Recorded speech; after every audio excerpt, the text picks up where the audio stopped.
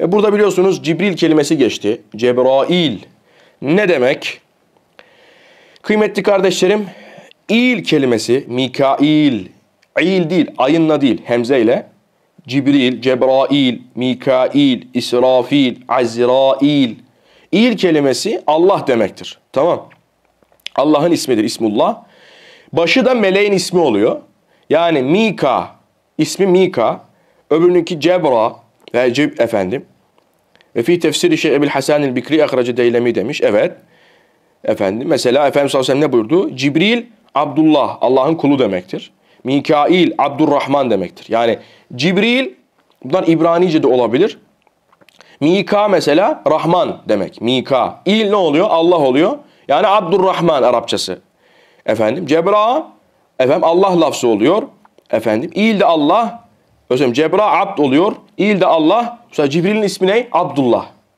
Cebrail Aleyhisselam ismi neymiş? Abdullah. Mikail Aleyhisselam ismi neymiş? Abdurrahman. Deylemi hadis-i şerifinde bu geçiyor. Dolayısıyla il kelimesi Allah'ın ismidir. Başı da meleğin ismidir. Mika, Cebra gibi tamam mı? Burayı da size aktarmış olduk Cebrail Aleyhisselam'ın ismini. Tabi Allahu Teala övünüyor dedik ya. Neden? E kulun nefsi var. Kulun başka alakaları var. Meleklerin ise böyle bir şey yok.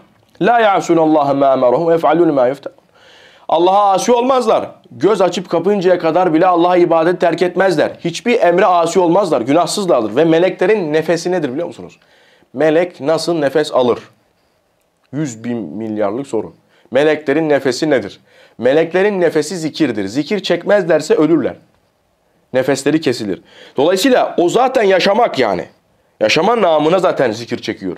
Ama insan nefsi olmasına rağmen, nefesi zikir değil başka bir şey olmasına rağmen, bir sürü dünya alakaları olmasına rağmen hepsini terk edip Allah diyebiliyorsa Allah da meleklerine diyor ki görüyor musun kulumu? Ben ona nefis vermeme rağmen beni tercih et. Meleklere karşı övünüyor Rabbimiz. Ne güzel kul diyor yani. Allah cümlemizi razı olduğu mekanlardan, yerlerden ayırmasın.